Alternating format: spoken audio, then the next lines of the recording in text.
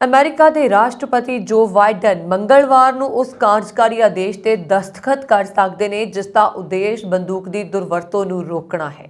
ਇਸ ਆਦੇਸ਼ ਦੇ ਲਾਗੂ ਹੋਣ ਤੋਂ ਬਾਅਦ ਬੰਦੂਕ ਖਰੀਦਣ ਵਾਲੇ ਕਿਸੇ ਵੀ ਵਿਅਕਤੀ ਦੇ ਪਿਛੋਕੜ ਦੀ ਹੋਰ ਵਧੇਰੇ ਡੂੰਘਾਈ ਦੇ ਨਾਲ ਜਾਂਚ ਕੀਤੀ ਜਾ ਸਕੇਗੀ।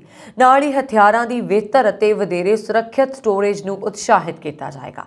ਇਸ ਕਾਰਜਕਾਰੀ ਆਦੇਸ਼ ਦਾ ਉਦੇਸ਼ ਇਹ ਯਕੀਨੀ ਬਣਾਉਣਾ ਵੀ ਹੈ ਕਿ ਅਮਰੀਕੀ ਕਾਨੂੰਨ ਲਾਗੂ ਕਰਨ ਵਾਲੀਆਂ ਏਜੰਸੀਆਂ ਪਿਛਲੀਆਂ ਗਰਮੀਆਂ 'ਚ ਲਾਗੂ ਕੀਤੇ ਗਏ ਬੰਦੂਕ ਕੰਟਰੋਲ ਕਾਨੂੰਨ ਨੂੰ ਪ੍ਰਭਾਵਸ਼ਾਲੀ ਢੰਗ ਦੇ ਨਾਲ ਲਾਗੂ ਕਰ ਸਕਦੀਆਂ ਨੇ।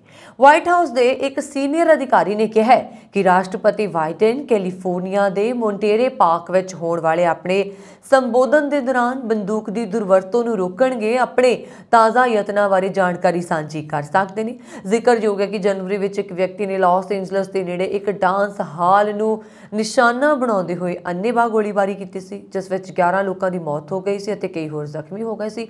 ਅਮਰੀਕਾ 'ਚ ਗੋਲੀਬਾਰੀ ਦੀਆਂ ਕਈ ਘਟਨਾਵਾਂ ਸਾਹਮਣੇ ਆਉਣ ਤੋਂ ਬਾਅਦ ਹਥਿਆਰਾਂ ਦੀ ਦੁਰਵਰਤੋਂ ਤੇ ਰੋਕ ਲਗਾਉਣ ਨੂੰ ਲੈ ਕੇ ਬਹਿਸ ਛਿੜੀ ਹੋਈ ਹੈ।